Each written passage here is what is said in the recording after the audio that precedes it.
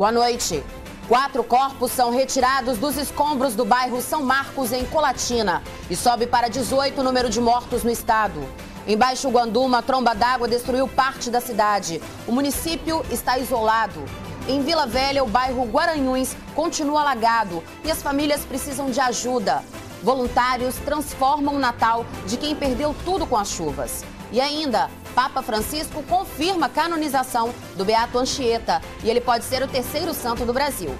Quarta-feira, 25 de dezembro de 2013. O News Espírito Santo começa agora.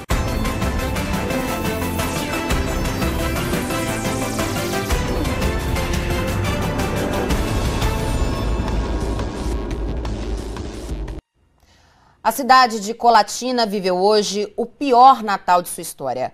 Quatro corpos foram retirados dos escombros de uma das cinco casas que desabaram no bairro São Marcos. Com a ajuda de cães farejadores e de máquinas, homens do Corpo de Bombeiros vasculhavam a área do deslizamento e procuravam pelas vítimas no bairro São Marcos. E com o trabalho de busca ao longo do dia, os corpos foram sendo encontrados. Quatro foram retirados hoje, Ontem, uma mulher também foi retirada dos escombros, já sem vida. As vítimas ainda não foram identificadas. A tragédia aconteceu na manhã de segunda-feira. Cinco casas foram soterradas e as buscas vão continuar, porque existe a suspeita de que outros moradores estivessem no local e estariam desaparecidos. A Defesa Civil confirmou 18 mortes até agora no estado.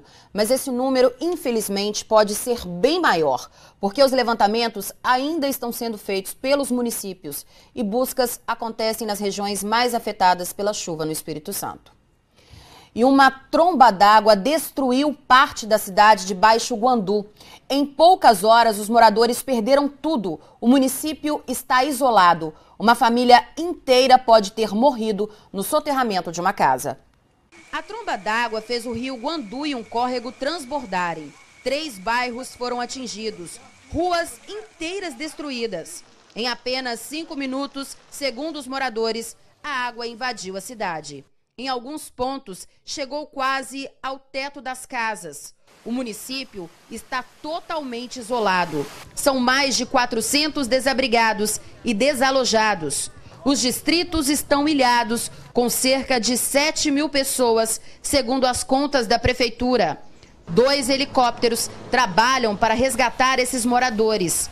Uma família com quatro pessoas, sendo uma criança, pode ter morrido em córrego dois irmãos. E ainda nesta edição, você acompanha uma entrevista por telefone com o prefeito de Baixo Guandu, Neto Barros. Ele pede ajuda aos moradores do município. Em Linhares, a situação também é bastante crítica. O repórter Cláudio Alves e o cinegrafista Jardel Dalben sobrevoaram a região. A nossa equipe embarca no helicóptero que vai sobrevoar as áreas mais afetadas pelas chuvas aqui em Linhares. A preocupação agora é com a abertura de comportas na usina de Mascarenhas, em Minas Gerais, o que deve elevar o nível do Rio Doce. Logo que o helicóptero começa a sobrevoar a cidade, o cenário de caos fica mais visível. A comunidade ribeirinha de Olaria está totalmente inundada. O rio pequeno é sufocado pela força do Rio Doce que avança pela vegetação. Alguns locais onde a água ainda não havia chegado começam a ser alagados. Casas ribeirinhas no bairro Aviso e até a sede do Instituto Federal do Espírito Santo, IFES, começam a ser ameaçados pela cheia. Nosso destino são as comunidades de povoação e regência.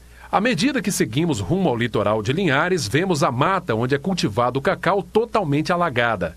Segundo a Prefeitura de Linhares, os prejuízos são gigantescos para toda a economia do município. Pastagens inteiras tomadas pela água, famílias estão ilhadas, Aqui o que se vê é a estrada que liga Linhares à povoação, completamente alagada. As pastagens estão encobertas, por isso o gado fica acuado. A comida para os animais já começa a faltar. Em alguns pontos é impossível saber onde fica a margem do rio. O trabalhador desta fazenda conta o drama que tem vivido. Juntamos o gado todinho, nós estamos indo de bote. Nós vamos de bote, olha o gado e volta. Já morreu o gado aí já? Morreu três bois já.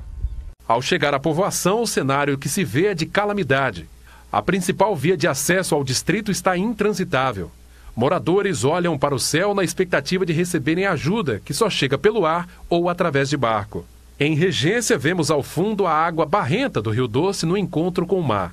Aqui os moradores estão ilhados. Falta água potável e comida. E a Defesa Civil está pedindo ajuda de voluntários que tenham barco para trabalhar no resgate das famílias capixabas.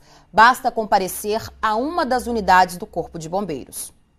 E o tema da nossa enquete dessa semana é a corrente de solidariedade montada no estado para ajudar as vítimas da chuva. Nós queremos saber.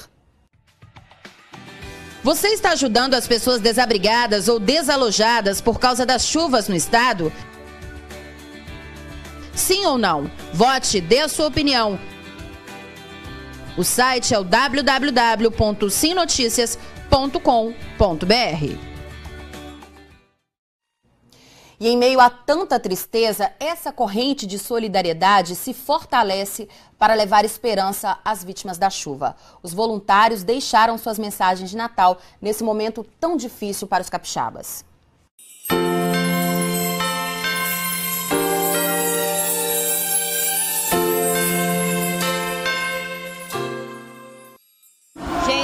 Estão passando dificuldade, nós gostaríamos de dizer para vocês que nós estamos juntos com vocês.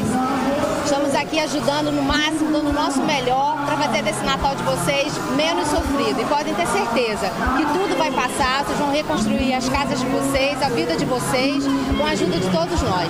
Um Feliz Natal para todo mundo! Feliz Natal!